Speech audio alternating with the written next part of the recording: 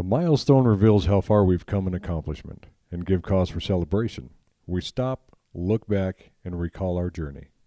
Today, Family Worship Center is celebrating 60 years in existence as a church. We're excited to look back and reminisce with pictures and stories of where we came from. Family Worship Center has been a continuous church family where people can worship, connect, and serve God in Pueblo, Colorado since 1954. A couple from Florida had the desire to move to Pueblo and start a church. We're part of the Church of God, which was founded in 1896 with headquarters in Cleveland, Tennessee.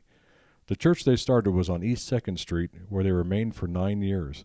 This is still a thriving sister church with the services in Spanish and in English. In 1963, Family Worship Center moved to 740 West 15th Street, with Sunday morning attendance averaging about 40 or 50 people. Gail Barnett was the pastor during this move and pastored Family Worship Center for seven years, the second longest pastorate. Family Worship Center had several pastors during these years, with the average stay of two and a half to three years in tenure.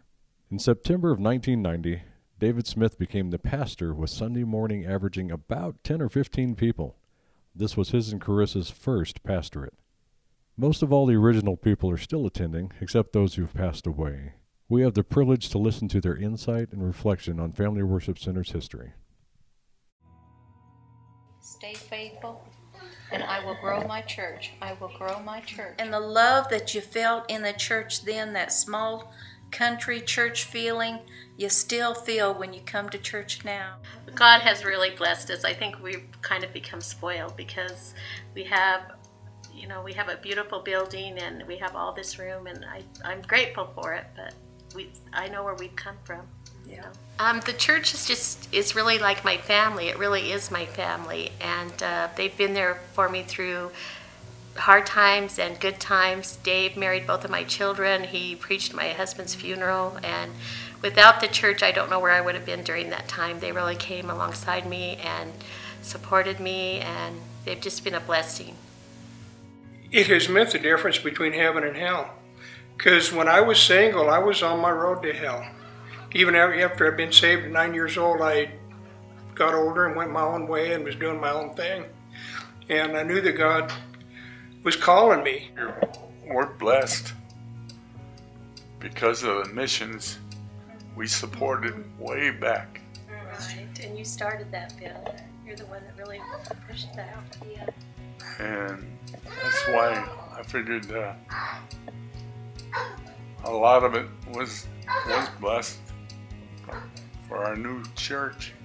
As even though our church has grown so much um, really since Pastor Dave and Carissa came is why it's grown or since then it's grown. It's just always had that same feeling of a small church. I've always felt welcome and loved. God's just always provided people for the church that would just step up and, and, and do things even if they weren't comfortable with it. Um, like, for example, Loretta um, was a the youth leader, and we had a very small youth group. But um, she decided to get her driver's license because we need, the kids needed somebody to drive them around. So I began teaching for our church, and that's where I first found my love and my passion for teaching when I was 19. We needed teachers on Wednesday night. We had several on Sunday mornings, but we didn't have any on Wednesday night. When I was born, the church was still on West 15th and Craig. Um, a small church, but big in prayer warriors that have paved the way for us to be here today, um, which I'm forever will be grateful for. As I stand before you uh, with the praise and worship team on Sunday, I often hear uh, those words of prophecy, and I stand amazed uh, at God's faithfulness and how this church has been blessed above and beyond uh, what any of us could have envisioned. Um, I appreciate Pastor Dave and Carissa being sensitive to the Holy Spirit and coming here at the perfect time to be our leader. Where we've come from way back then till now is just is amazing, and uh, even moving from one church to the next, and now in the beautiful building we're in now, it just um, that's God. And as we just continue to look and hold on to His hand and let Him lead and guide us, then um, the Holy Spirit will never guide us in the wrong directions. And so we've got to keep our eyes on God and let Him be the one that takes us through this journey and for another 60 years. Or hopefully Jesus will come before then, but if he doesn't, he'll be here with us again. And uh, I, I'm glad to be a part of Family Worship Center. In 1994, with God's blessings, our church continued to grow to 90 attendees. As with any family, we needed more room and purchased a building at 540 Alma Avenue. Held our first service in September. Family Worship Center paid off the mortgage note in October of 1998.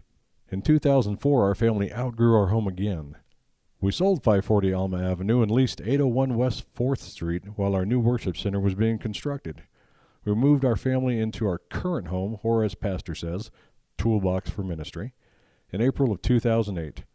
With God's continued blessings, we paid off our new home in October of 2012. Our family's mission has always been on people and helping them pursue a lifelong relationship with Jesus Christ. We focus on helping people connect to Jesus Christ through weekly and monthly gatherings, life groups, Bible studies, and fellowships. We've always had a heart for missions. As a church family, we support 16 missionaries. Through the years, our family has had a thriving children's and student ministry. Many children have been privileged to grow up in a safe, healthy church family. We cherish all ages in our family. Our senior adults give us the roots and stability that we need. We are grateful to God for them.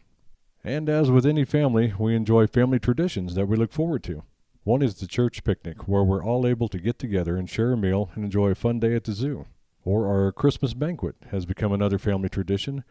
Through the years, it included all of our family cooking the meal, baking turkeys, cakes, decorating, serving the meal. Now our family is able to enjoy a beautiful sit down meal at the convention center. As in any family, we've experienced great joys, victories, and triumphs, as well as times of great loss. There have been many of our warriors who have gone on to their reward in heaven.